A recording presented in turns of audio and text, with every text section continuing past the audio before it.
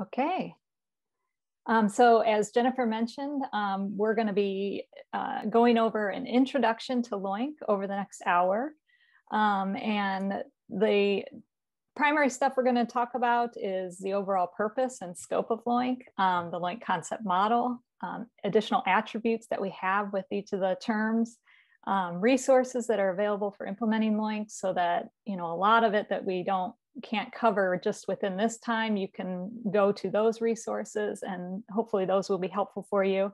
And then um, I will do my best to save enough time at the end for Q&A so that we can um, address any questions that you might have. Um, I'm going to jump back to the disclosure slide. So I just want we listed here the core funding sources that we have as well as the secondary ones. Um, and before I actually jump in, I just wanted to say that I'm one of the clinical terminology developers on the LOINC team, and I've been with LOINC for nearly almost 10 years now. Um, my background was in genetic counseling prior to that, um, and I did a lot of research-based work with in genetic counseling, um, and then also saw patients in the clinical setting. So I had quite a mix of experience between um, research as well as clinical applications um, and interfaces. And so when I joined the LOINC team, all of that background experience was really helpful in terms of understanding uh, interoperability and the need to share the data and be able to pull the data um, for clinical decision support. So um, we have kind of two main different kinds of standards that we talk about. Uh, one of them is the syntax standards, and then the other is semantic standards.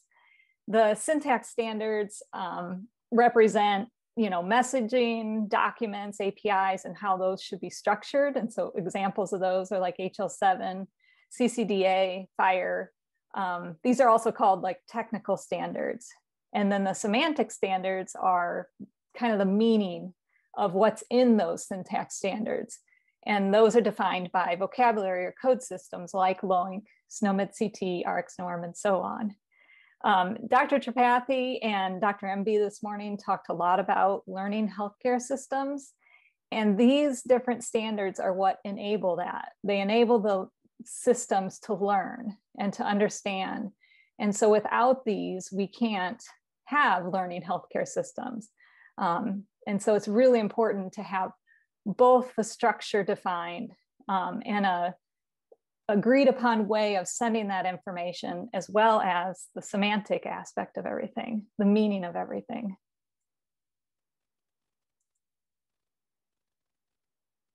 So here's a representation of three different hospitals that all are reporting on the patient's systolic blood pressure. This is just an example, HL7 version two, um, just a snippet from that message. So the result is being sent from these different hospitals, um, but each of them has their own local code that's in the red font, their own naming of that observation in the blue font, and then each hospital is represented in the green font. This is a triplet code. And so the goal of LOINC is to have the same information represented by a single standardized code so that all three of these hospitals can talk to each other. Um, within most um, some, uh, syntax standards or messaging standard uh, applications, there is a way to send both the standardized code as well as the local code. And we often actually, we do encourage that um, because then you have the full information sent, you know, the original local information that was provided as well as the mapping to that standardized coding system like LOINC. But this would be the goal where they can all have the same representation and so that um, these systems can then understand and know where to store this result, how to display this result. Um, and it's just helpful in general with data exchange. Just a brief history of LOINC. So it was about in 1994 when Clem McDonald realized there was a need for a universal language for observation identifiers. Um, and they began at that time with laboratory observations. And then within a couple years, they started adding the clinical observations. So now in LOINC, we have over 95,000 codes for both laboratory and clinical order and result concepts. Um, for health measurements, observations, and documents. And if you didn't know, LOINC stands for Logical Observation Identifiers, Names, and Codes. So the LOINC development is main, maintained by the LOINC team at Regan Regenstrief Institute um, in Indianapolis. And we have three primary committees, the laboratory, clinical, and then the combined LOINC RADLEX committee, as well as two subcommittees that help provide that oversight and guidance um, for content development. And we also have a vibrant international user community um, with active participation in the LOINC development activities. And we are very appreciative of both all the committee um, participants as well as all of our volunteers who help. So LOINC adoption around the world, it began in the US, but it's used in over 170 countries. Um, and it's the official national standard in over 30 countries currently that we are aware of. There may be more, but that, what, that we are officially aware of, we know of at least 30. Um, international adoption is enabled through our volunteers who translate LOINC. And currently we have over 20 different variants in 12 languages. And um, we're always interested in uh, adding to those translations um, so that we can continue that um, international adoption the scope of LOINC, um, it's a standard terminology to identify lab tests, clinical measurements, documents, surveys, and more. Uh, so there's one common identifier for results that are clinically the same. And as I mentioned, there's nearly 95,000 uh, terms and growing. Um, about 60% of those are lab LOINC terms. And uh, then we also have the clinical terms. I believe those are around 20 some thousand uh, terms. We have this class of HIPAA attachments right now. Um, and I'm just going to briefly mention with that class, it actually kind of overlaps between the clinical LOINC class as well as, as well as ter terms that are in the laboratory space and maybe even survey, just because the payer provider exchange information often involves coding that's the same um, that would be used in clinical LOINC, for instance.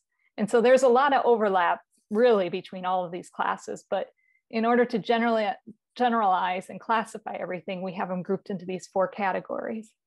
Um, and then the last one is the standardized survey instruments.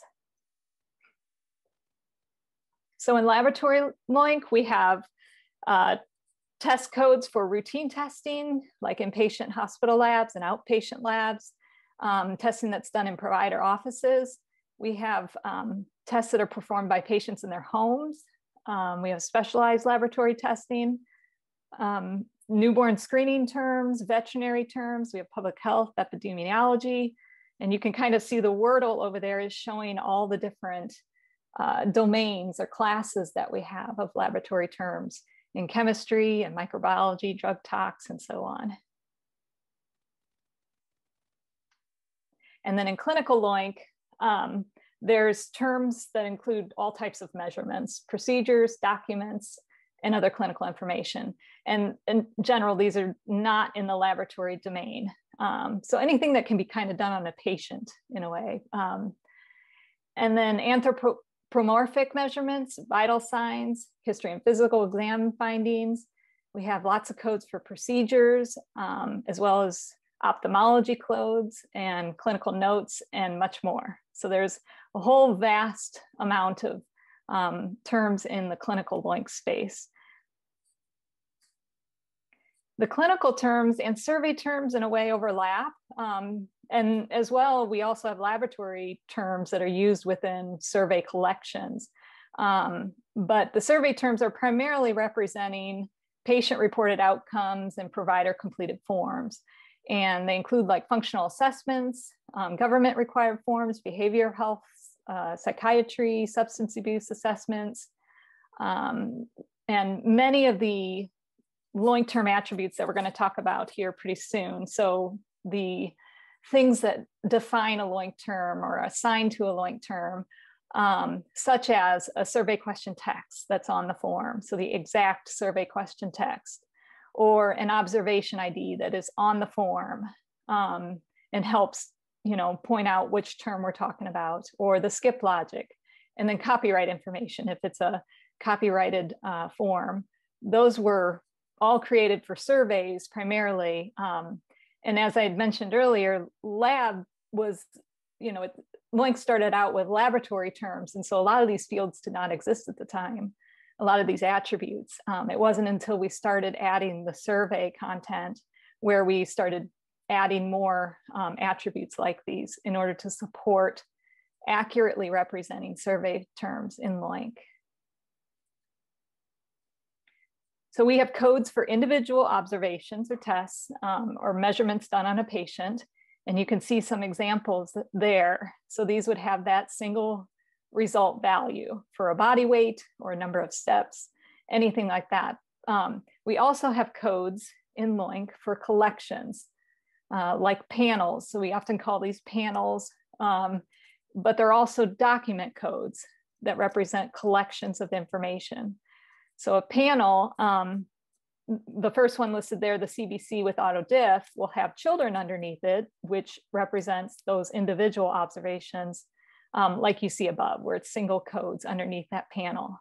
Um, but then the last one that is mentioned there, the discharge summary, um, that one doesn't isn't populated with LOINC codes underneath, um, but it is intended to represent a collection of information um, about the patient's discharge, um, which may contain structured or unstructured data. So it may contain a lot of additional LOINC codes underneath it when it's sent, um, but we don't populate those codes in LOINC just because it varies across providers what information will be gathered. And this is another place where the syntax standard or the technical standards fit in and they help define like in CCDA, how will that discharge summary note be structured and what kinds of information will be contained within it? Um, that those are the things that help define um, what will be in there. And LOINC's purpose is just to say 18842-5, for instance, represents a discharge summary note. And then you look inside that based on that syntax standard, what content or information or collection will be included. So I'm going to dive into the LOINC concept model next. Um, we have what we call the LOINC term, and the LOINC term um, makes is the combination of the LOINC code as well as the LOINC name. So those two together we consider, we define as the LOINC term. And that term represents a question or observation about a clinical phenomenon that can be observed or measured. So the example we have here is 94500-6, one of the most commonly used LOINC codes for SARS-CoV-2 testing. Um, and you can see that the top there represents the full LOINC term, which is the code plus the long common name. And so then you have that split out below. So it, it often gets confusing because sometimes people are just talking about a code or they're talking about a name or, but we kind of think of all of it together um, combined as considered the LOINC term. So the LOINC code itself is a unique, unique permanent numeric code. Um, it serves as a computer process, processable representation of a LOINC term. And there's no structure, intrinsic structure, except that the last character is a mod 10 check digit. And if you're really curious, you can go into our knowledge base and look in the user's guide at Appendix C on calculating that mod 10 check digit. Um, the only thing you can really determine by the LOINC code um, is when it might have been created. You can see that the older codes, like the one listed down below, the 1-8, um, is one of the first codes that were created versus that one I just showed you earlier, the 9 uh, number is a very recent code, a much newer code. Um, so that's the only thing you can really determine by the LOINC code value. They're not organized by like all the four ones beginning with four, four something are lab and all the ones beginning with six something are clinical or whatever. We don't, we don't have the codes organized in that way. They are all kind of processed as we um, receive them in the order that they're received or, and then, yeah, otherwise there's no intrinsic structure. So, and then once a LOINC code is officially released, it's included in an official release, it is always going to be in that in future releases. It is never removed from the LOINC distribution. The LOINC name um, is the human readable text rendering of its associated LOINC code. And we have several official LOINC name types. One of them is the fully specified name, and we often, we do recommend this one for mapping, and I'll show you more as why. Um, the LOINC or the long common name is our primary display name. And then we have a short name, which is often was created for old school systems where there was a character limit and those systems still exist today. So just some examples for the fully specified name, you can see there that each piece of the LOINC term is divided or has a colon separated by a colon. So we have what we call different axes in a LOINC term. Um, and we'll go into each of those axes. There are six of them, and so you have six different pieces there listed. Um, and then the long common name is that readable rendering of all of those different axes values. And we generate these internally by rules that we have. Um, and sometimes we they're based on the common usage of that name so that uh, users can find that code and understand its meaning. And then short names um, is also generated by rules internally um, and based on each of the parts.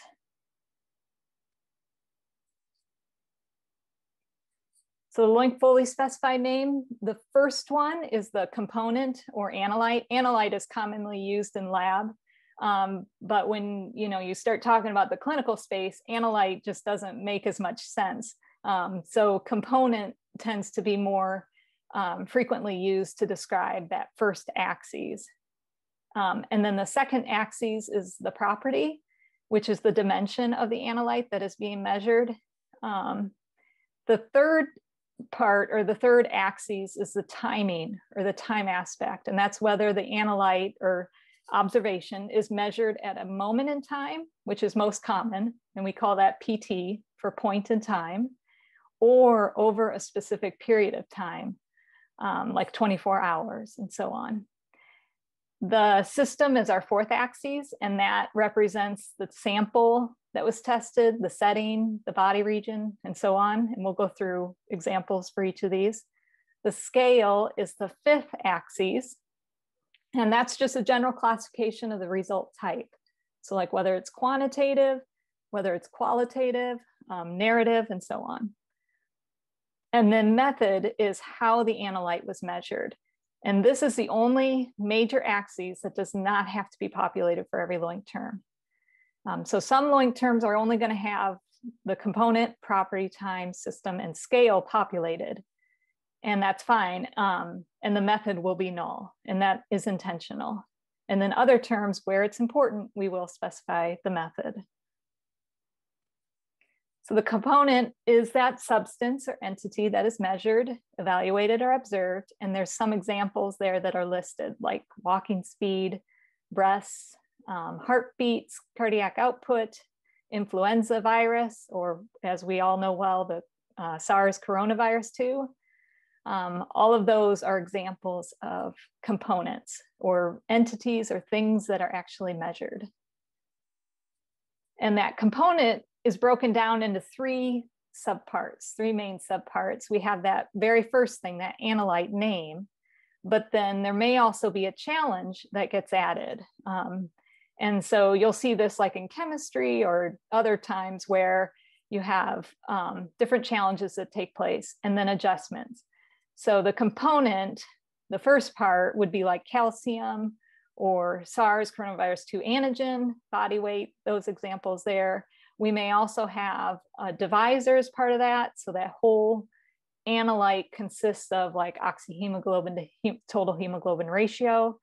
Um, all of that is considered that first part, that analyte that's being measured and reported on.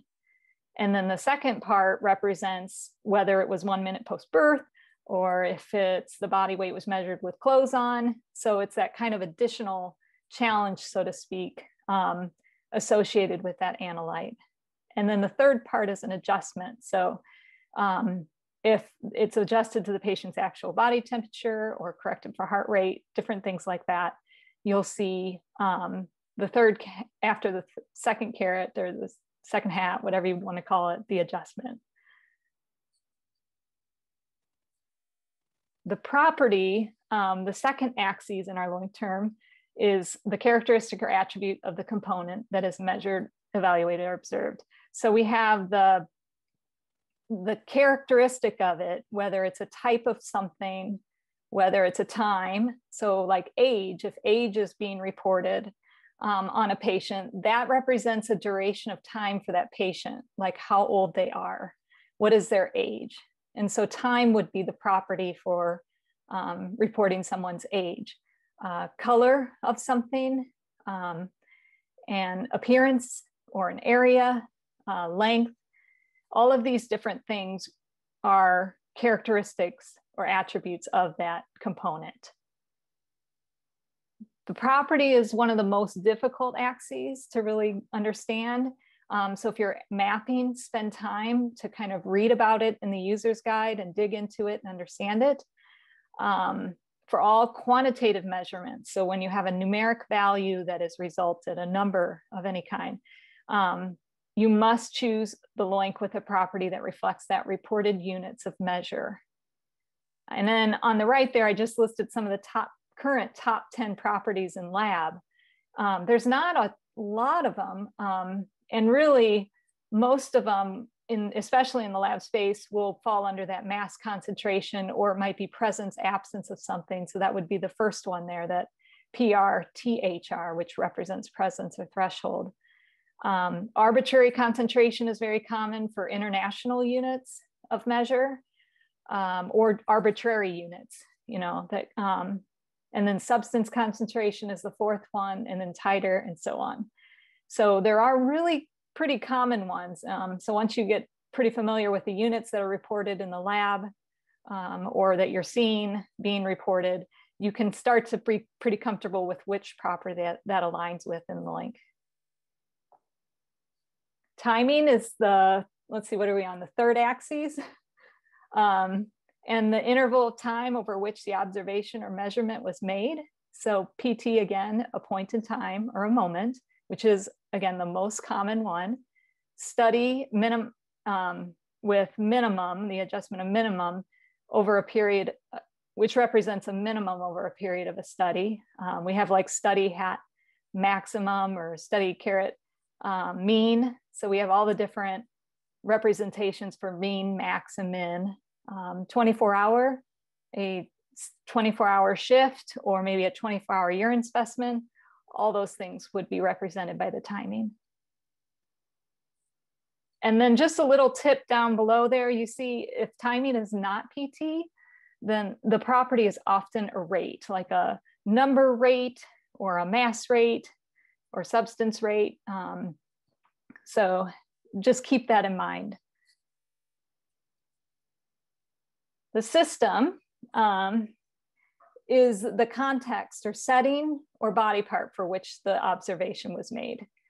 So uh, examples include the yolk sac, uh, the upper GI tract, tricuspid valve. So whatever we're talking about, whatever that analyte is um, referring to or um, the body part for which it was made, that would be your system. Um, in the document space, the system represents the setting. So like outpatient, emergency department, um, and so on. So uh, in the lab space, it's the specimen usually that's tested. And the assumption is that that specimen was um, from the patient.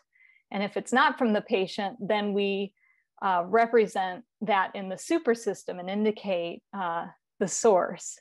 So the first example there, that yolk sac uh, with the caret fetus or hat fetus, that means that the measurement is taken or the whatever may be, but in this case, probably measurement was taken on the yolk sac from the fetus.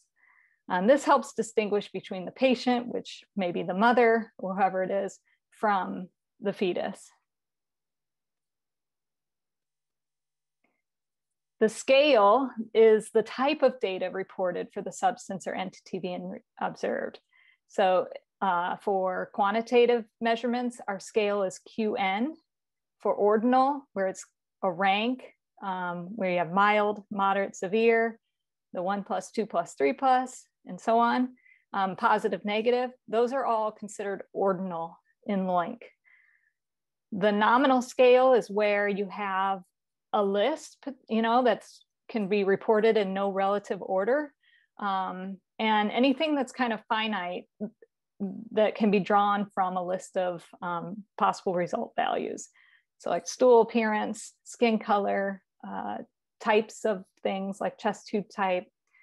Uh, nominal also fits brief, really brief text. So in some cases, people may say, what's the address for this patient? Um, that would be nominal.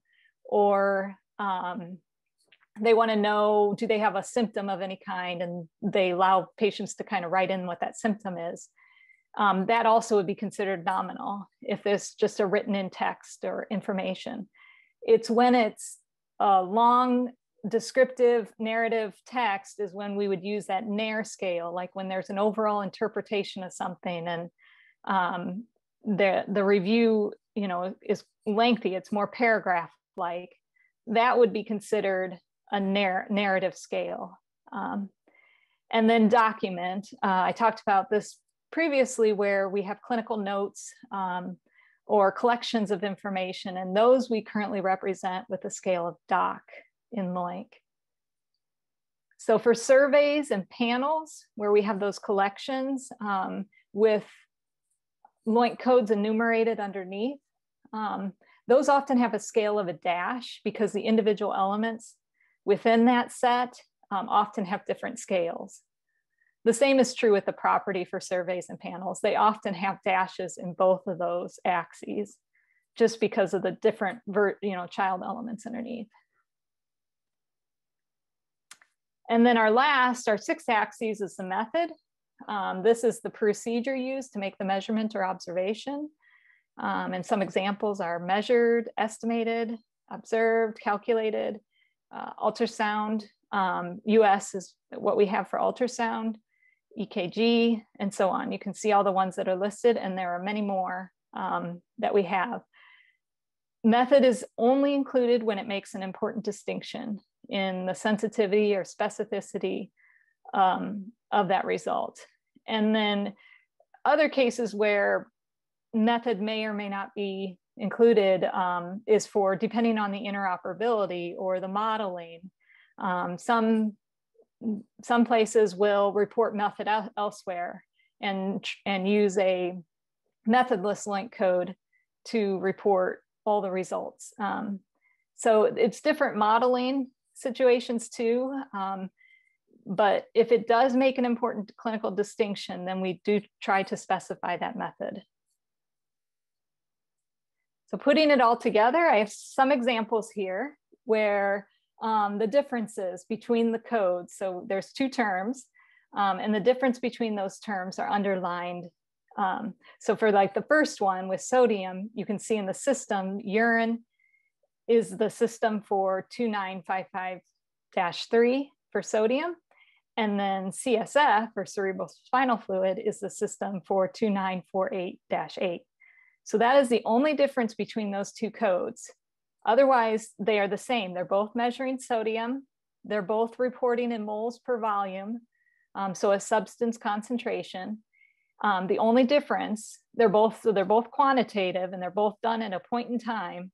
And then the only difference is that specimen. One's done on urine and the other one's done on CSF.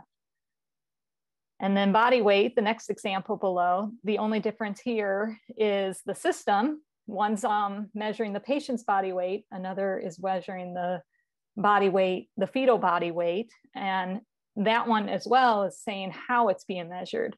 In this case, it's estimated from the abdominal circumference on ultrasound.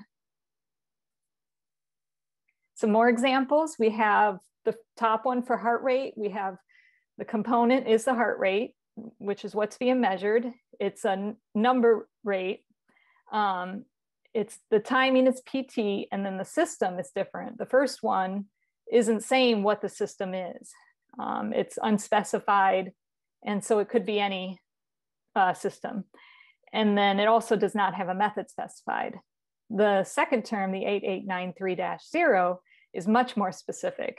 It's heart rate um, of the peripheral artery by palpitation. So it's much more specific, and in certain use cases, they need that distinction. Um, and 8867 4 would be too general for them. So the last, or the other example that's there, the SARS coronavirus 2 antibody, and then the SARS coronavirus 2 RNA, these two codes are measuring different things, different analytes. So the first one is looking, is a serology test looking at the antibody for SARS-CoV-2.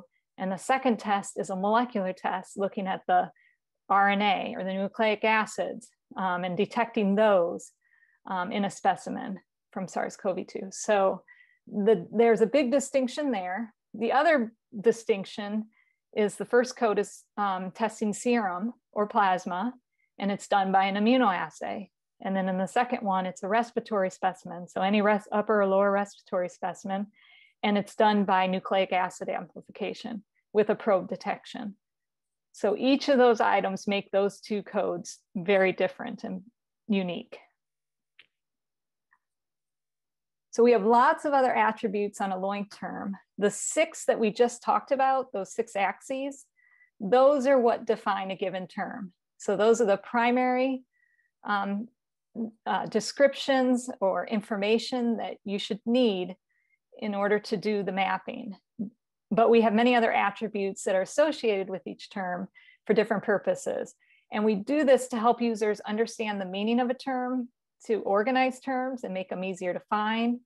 Uh, the other attributes provide metadata, such as like the version in which it was first released, or maybe the version when it was last updated.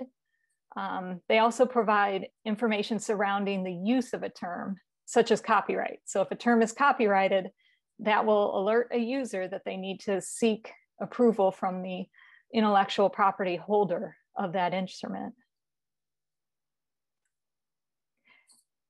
I have examples here for different attributes. So for example, units, we often get questions from users like, this term has milligrams per deciliter, but mine's milligrams per liter. Can I still use it?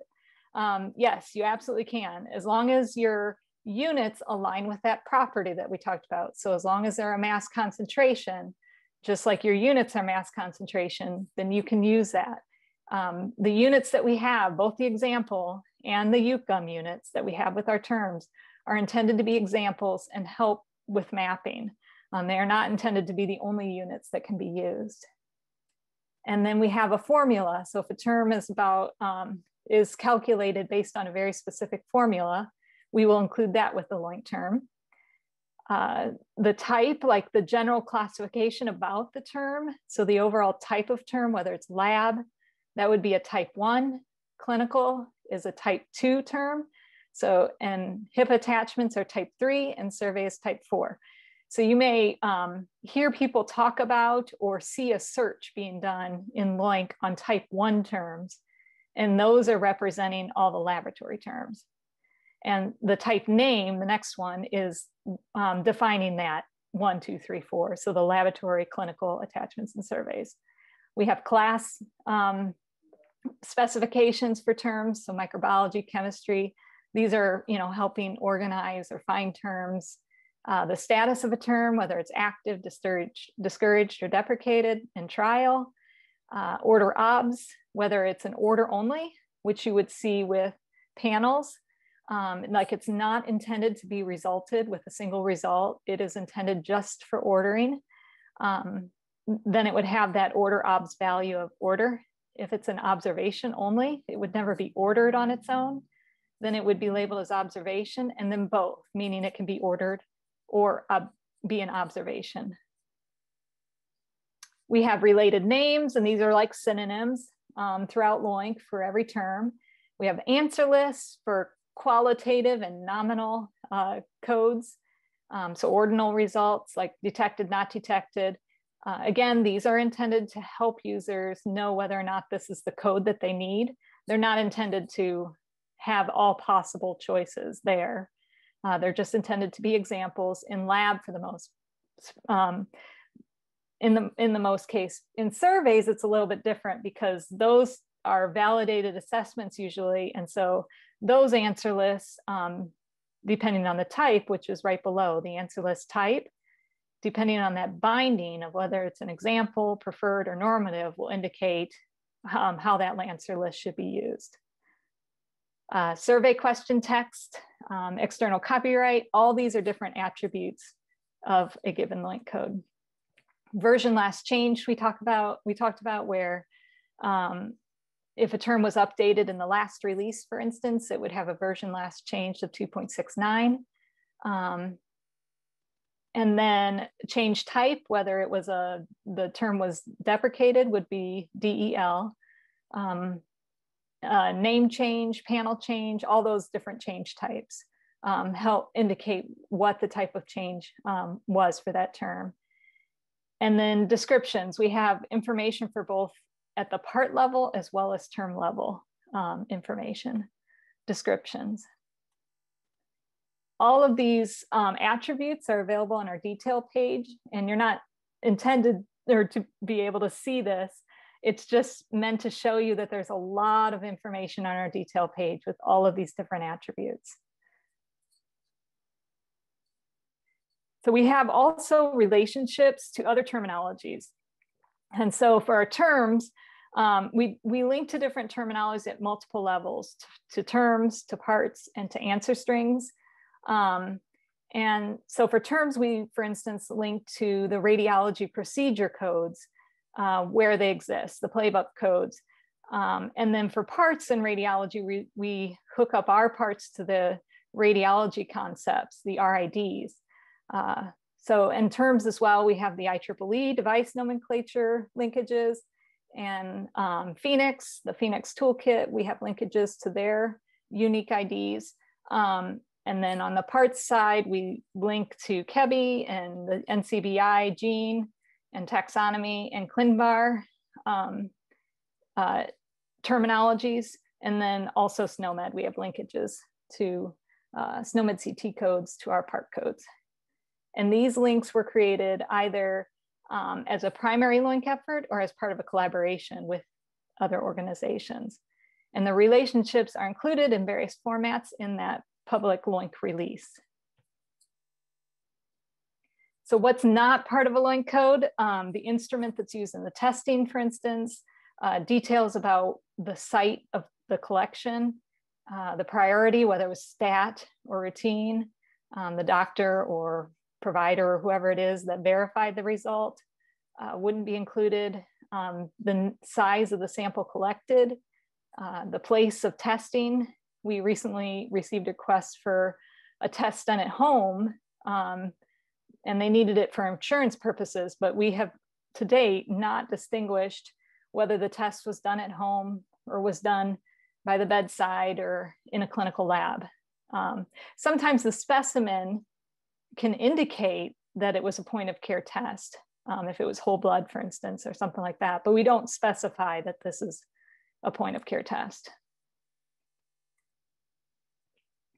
So LOINC code development guidelines, we try to only make names and codes for things that are real concepts that actually are um, exist in some, someone's system. We don't make all possible permutations. So as uh, SARS coronavirus, as the pandemic happened and tests were being developed, um, even though we knew there would be a SARS antibody test being developed, we didn't just go ahead and create that code. We waited for an actual request from a user and with a test kit, valid test kit, um, before we made that code. So there aren't any blind cross products or creations of codes. Um, we do make names that allow both the atomic, you know, post-coordinated and molecular pre-coordinated styles. And that's where the method versus method list can sometimes fit in. Um, we avoid creating codes for concepts that are represented in the HL7 model. Um, so no names that include post-coordinated fields from other parts of the HL7 message, like the status or the priority or user role. Um, where we do have codes that overlap is um, it, where we do have that situation, we try to provide where it can be long in the other standards. So we have a field in LOINC that says in HL7 V2, you can put this in the PID segment um, for representing, you know, like we talked about earlier today, the patient name. Um, so we do try to represent that, although we haven't done that for a lot, everything. Um, but the goal is to eventually have, you know, one best practices or one approach for how we send this information. Um, and so we try not to overlap with that. So we have lots of resources available for implementing LOINC. Our main page for getting the content, um, getting the release is on loinc.org slash downloads.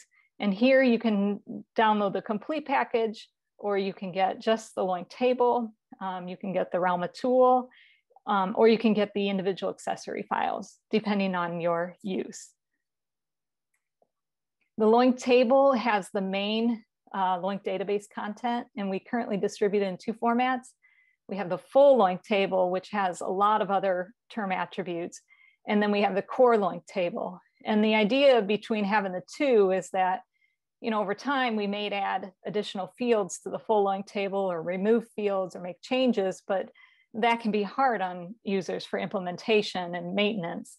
And so we have this core LOINC table that um, is the essential fields with a stable structure. And this table, I think, is a three-year um, requirement to be able to announce or to for us to announce that there will be a change to it and then to give uh, the users time to be able to implement that change. So it's a much more stable uh, structure. Both of these come with a MapTo file for transversing between the deprecated or discouraged terms to the active terms.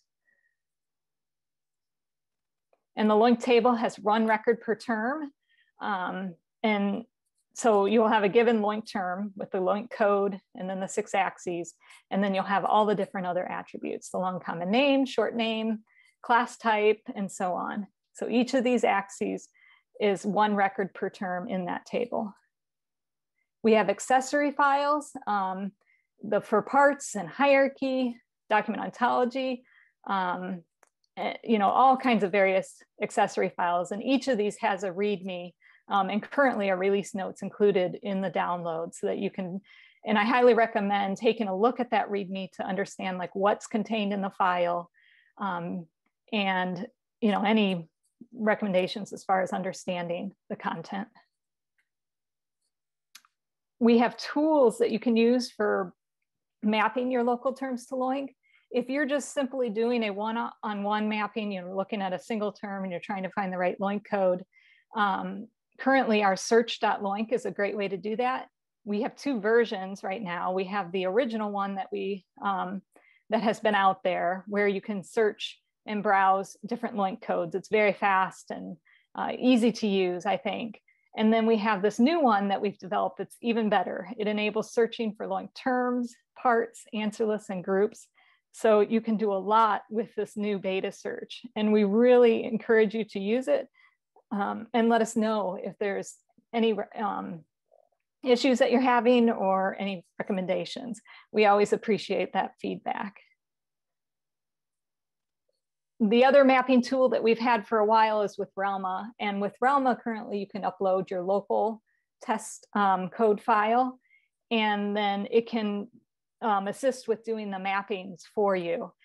This tool we will be phasing out over the next few years just because um, it's a very old uh, web-based tool that is has been difficult to maintain over the years and um, it just needs to be updated. So it will eventually be um, phased out and then we'll be working to migrate some of the features uh, to an online platform. So, and then once those features are there, then this one will be retired.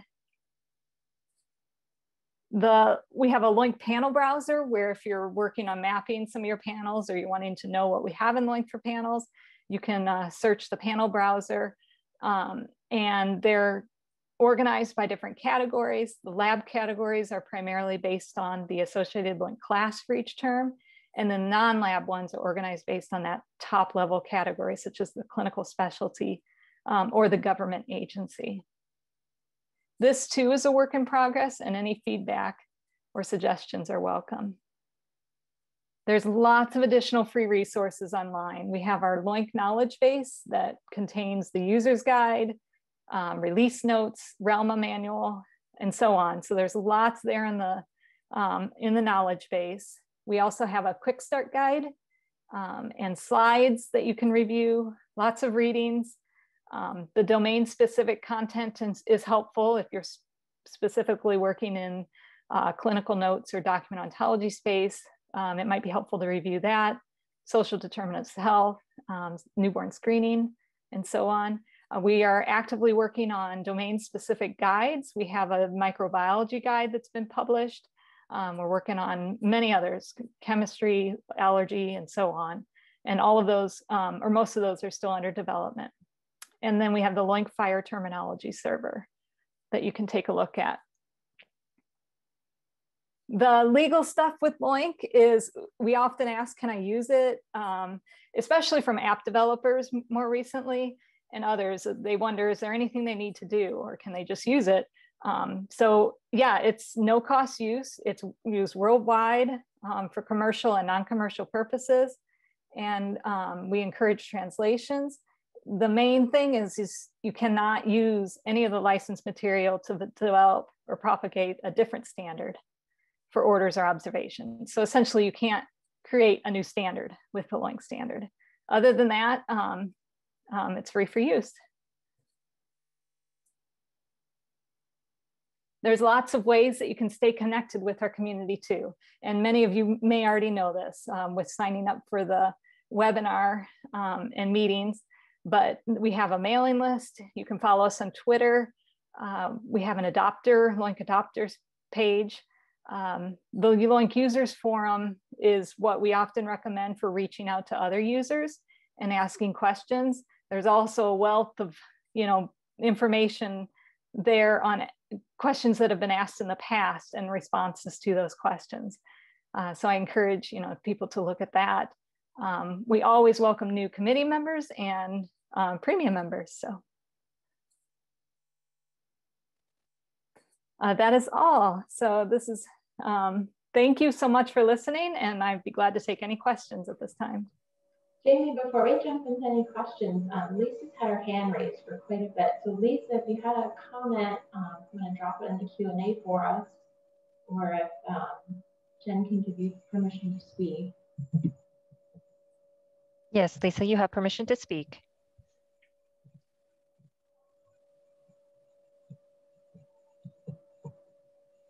Think, Lisa, I think you might be muted. I'm sorry, I, I didn't oh. had my hand open. I'm sorry. Oh, that's okay. No problem. Okay, I didn't want to miss you. Jamie, we had a couple other questions in the QA for you. So the first one was, why do we need a separate LOINC code for test results and test orders? Um, some of the orders re represent like a battery, a set of tests. So it's not one specific code. Um, like you think of the CBCs with differential or example that we had. Um, in those cases, you need a unique code that represents that whole battery, that whole collection of tests that's going to be ordered. Um, and then you need separate codes to represent each of the different quantitative ordinal results for everything, you know, that might be included within that report. So you can kind of think of an order representing the overall report, you know, information, and then the result codes are kind of contained within that report. A lot of lab tests have the exact same order code and result code. So if it's a single test um, or a single item that's analyzed or their single primary test, there may be other associated observations with that test, but if it's a single um, primary result that's reported out, we, we recommend that same code be used for the order as well. So it's really when there's a large collection or battery or panel um, is where the order code would be different. Yeah. And that kind of leads into our next question. And you talked about it a little bit. So panel for a CBC that has a panel code, do you map to the panel header and the components individuals map to components only? Uh, you can map, not all systems are capable of handling order codes right now, LOINC order codes. And, and maybe I'm misunderstanding the question, but um, yeah, so you can map to that order code and then each of the results will be then mapped to um, their corresponding codes. But maybe I'm misunderstanding the question.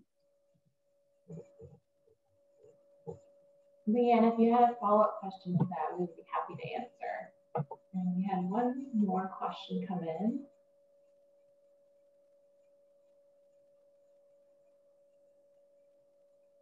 Um, Lexi just wants clarification. If they have a test with a single test in their local system, is this considered a panel if it contains multiple results generated from one assay in the lab? Um, it, so it depends on what the additional results are, but if it's just one primary measurement, um, for example, we just had a recent discussion about a urine analysis or where the, re, the ratio is being reported, you know, the analyte to creatinine ratio or whatever it might be. In that result um, or report, there may be additional um, results reported along with it, um, but they're not the primary. The primary result would be that ratio. And so the recommendation would then be to map your order code to that primary result. And that's when you have that single analyte that's, you know, and primary result that's being reported. It's again, only when you have a collection of codes uh, of results that are um, different measurements, um, different results, like when you have a complete blood count and you have all the different results associated with that, where you would have a panel code be the order. If we have time, I think I want to just kind of then show a little bit on our website to help okay, users find some of the content that I mentioned.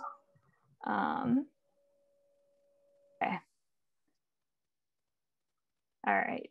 So here we have, um, if I go back, we have our main landing page for loinc.org. Um, here is where you can find all kinds of additional information about getting started, our knowledge base, which contains the license, the LOINC user, the release notes, information about versioning um, and so on, as well as our user's guide. And you can easily jump to a section that you might be interested in. Um, if you're working on radiology codes, we have this um, LOINC RSNA radiology playbook user's guide here. Um, the next talk with Brene and Tim, they're going to be going over our search syntax, but there's some really helpful information here on searching in LOINC. Um, and then this is our RELMA user's guide, information about using that tool, as well as FAQs. So there's a wealth of information in our knowledge base that I recommend uh, reading and using um, because it and, and referring to whenever you have a question about something. Um, then we have the whole content space um, that talks about different domains, specific domains like the document ontology and social determinants of health um, and the work that we're doing there. Um, if you need to request a new term because you can't find uh, the one that you need, this is the space that you go to to look at what's actually in our queue. Um, you can first, oops, first search the whole queue um, to see what's in there prior to submission, submitting because quite often um, there may be someone else who's already requested that exact same term. And so um, you can actually do a search in this queue for specific features or about that by searching on the component um, or whatever it may be and see if there's been a re existing request for that. And then you can follow, you know, the progress for that term here online. Uh, we have the downloads is all for the LOINC release, the last LOINC release and our accessory files in RELMA. And then um, community participation uh, is here and you can look at those things. Um, so there's lots of uh, ways to find out more information um, on our website. And then we talk too about specifically SARS related, SARS-CoV-2 or COVID-19 related content. We have two dedicated web pages for that. So it's really helpful. Um, and then this here is our new search um, tool that we've developed, the beta search, where you can search on LOINC or on parts, answer lists, and groups. So um, whatever aspect that you're working on with LOINC codes, um, each of these might help in terms of finding what you need. Um, so if you, and, it, and then the other thing that it does is say if I search on the cystic fibrosis gene, CFTR, um, I can then filter down into what I'm most interested in. So we talked about properties. Um, and so say I'm reporting the number, if I would apply this, there should only be one term then.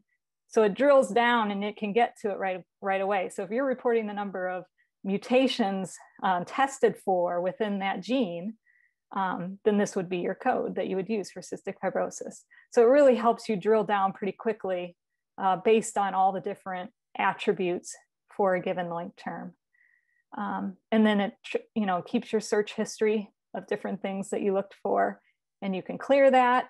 Um, but again, we welcome feedback on this new, any bugs that you might find, just general feedback or new feature requests. So each of those are good. And then this one too is available um, in different languages. And then this is our existing search link. So if you log in, um, many of you may recognize this where it's a quick way to search terms, um, but it doesn't have the filtering mechanism like the new one, which we're really excited about. So any questions with um, our web page or where to find things um, or the LOINC Amy, model? do you want to do you want Uh-huh. to show them the contact page in case they're not sure if they have a question Sure. yet?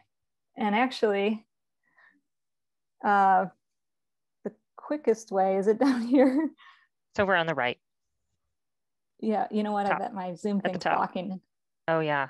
Yeah, my Zoom was my Zoom was blocking it. Okay, so yeah, here, contact us. And this, um, when you send it, let us know what your uh, question is about, whether it's um, about COVID or whether it's about just in general like content, any of those things. Uh, then we can help uh, triage where that question should go. So this is the best way to get in touch with us if you have any questions about anything. Great. Jamie, I don't see any other questions or hands raised. Okay. So I will thank everyone for joining. I will let, there was a question asked about if this um, presentation is recorded. The answer is yes, it is recorded and it will be available in a couple weeks on our website. You will be able to have access to that with your login and we will send you an email notification when all of those items are ready. So um, if you wanna uh, review it again, it'll be available for you here shortly.